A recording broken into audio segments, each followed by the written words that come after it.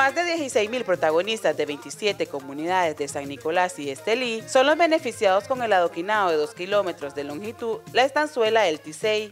El ministro del MTI, general en retiro Oscar Mojica, mencionó que esta nueva carretera mejora el nivel de vida de la población de esta zona. Construimos una moderna y confortable carretera que ya alcanza los 11 kilómetros de longitud entre Estelí y San Nicolás.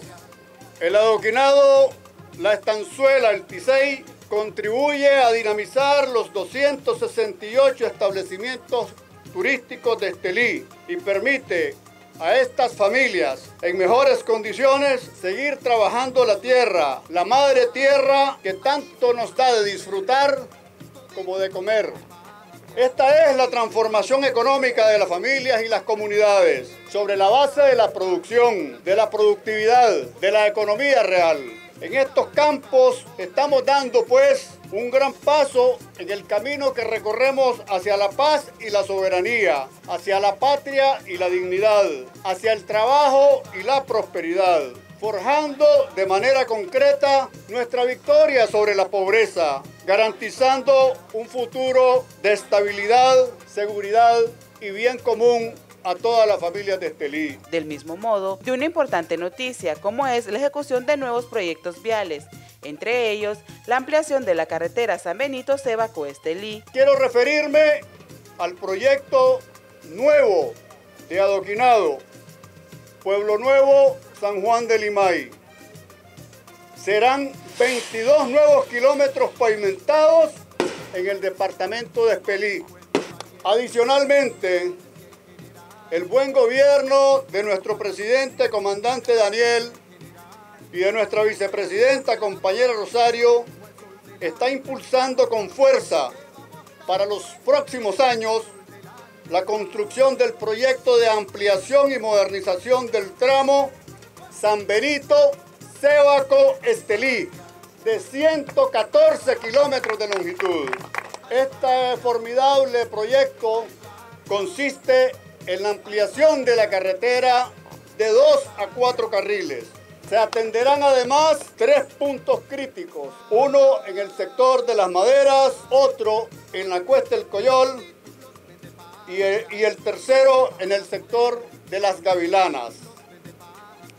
La futura ampliación de dos a cuatro carriles beneficiará a 2.482.389 habitantes. Su impacto positivo se hará sentir en tres departamentos, Managua, Matagalpa y Estelí. El gobierno del presidente Daniel de la compañera Rosario nos ha impulsado, ha promovido y ha hecho realidad que estas comunidades cambien de forma radical para bien, donde ya vemos que la economía ha venido creciendo, los emprendimientos vienen creciendo, la comunicación con el municipio de San Nicolás ya es una realidad, hemos avanzado muchísimo, sin pausa. Realmente nuestro gobierno de y Reconciliación Nacional ha trabajado fuerte en nuestro departamento y en nuestro país.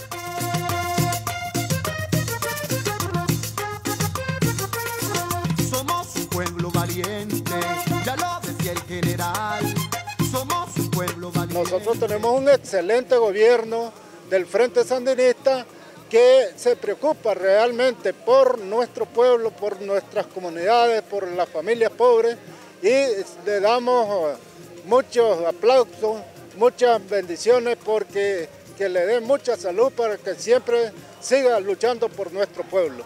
Bueno, la invitación que se le haría a nuestro pueblo, principalmente a este ley, que se desborde a votar el 6 de noviembre por nuestros candidatos del Frente Sandinista para que sigamos teniendo más beneficios, más logros. A votar en la casilla 2, muy tempranito, de dos en dos, marcando la casilla 2. Esta es la parte donde el gobierno nos retribuye a nosotros, los ciudadanos, ¿verdad? Porque esta, esta área es un área de recreación, todo el mundo sale. Si usted se viniera aquí los domingos, aquí va a haber el montón de vehículos pasando para, para los lugares de recreación, sano pues, con la familia, uno viene los domingos aquí. y ahora uno pasa más tranquilo, más seguro. Las comunidades han venido creciendo con carreteras inesperadas, pues, porque con otros gobiernos hubiera sido imposible. Mientras que con el Frente Sandinista nosotros lo sentimos seguros de que vamos adelante y seguimos en progreso y seguiremos defendiendo esta patria. El 6 de noviembre, ¿verdad? Ya sabemos que todos los sandinistas votamos en la casilla 2. Con esta nueva carretera, el buen gobierno sandinista continúa avanzando por rutas de paz, progreso y bienestar de las y los nicaragüenses. Para garantizar que estos proyectos avancen de la mejor manera, quiero hacer el llamado alto y claro a votar por las y los candidatos del Frente Sandinista de Liberación Nacional en la próxima fiesta cívica electoral del 6 de noviembre. Todos los nicaragüenses tendremos la oportunidad de demostrar nuestra vocación patriótica ejerciendo nuestro derecho al voto. En este mes de septiembre heroico reafirmamos nuestro compromiso de patria y soberanía. Hay patria, hay paz. ¡Vivan los héroes! ¡Viva Nicaragua bendita, soberana, digna y siempre libre! Adelante en victorias, siempre más allá. Con Daniel al frente, el pueblo presidente.